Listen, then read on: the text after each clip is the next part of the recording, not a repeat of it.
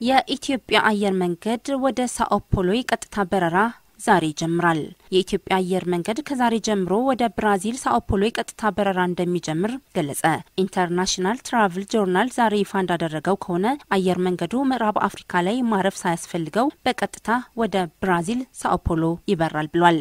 አየር መንገዱ በሳምንት ሶስት ጊዜ በቦይንግ 787 ድሪም ላይነር አውሮፕላን ወደዚሁ መዳረሻ እንደሚበርም ታውቋል። ከዚሁ ጋር በተያያዘ አየር መንገዱ ወደ ምዕራብ አፍሪካ ቶጎሎሜና ኮት ዲቯር አቢጃን የሚያደርጋቸው የተለመዱ ሳምንታዊ በረራዎች ሳይስተጓጎሉ በተለመደው ሁኔታ እንደሚቀጥሉ ነው የመረጃ ምንጩ የተናገረው።